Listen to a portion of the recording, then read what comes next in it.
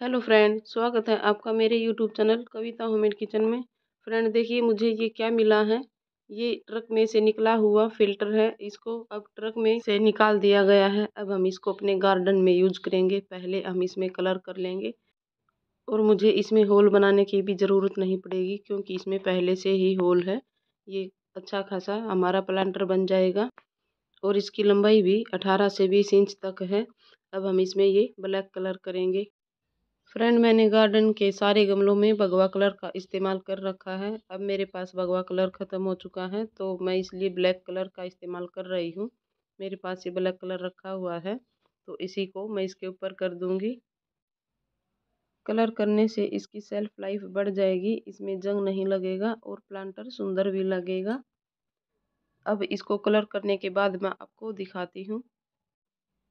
देखिए फ्रेंड, मैंने इसमें कलर कर दिया है। और ये कलर सूख भी गया है। देखिए कितना सुंदर ये प्लांटर बन गया है।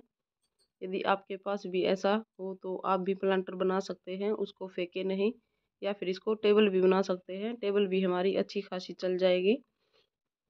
अब हम इसमें प्लांट लगाएँगे। प्लांट लगाने से पहले हम ये मटके के टूटे हुए टुकड़े इसके होल के ऊपर रख लेंगे।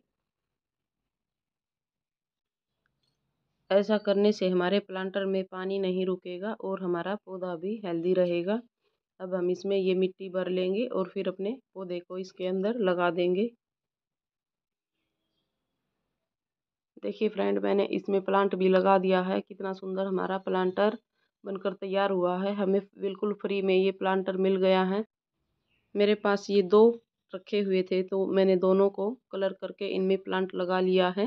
देखिए कैसे लगे आपको ये प्लांटर, कमेंट करके बताना। और वीडियो पसंद आया है तो वीडियो को लाइक, शेयर करना। और मेरे चैनल को सब्सक्राइब करना। Thank you.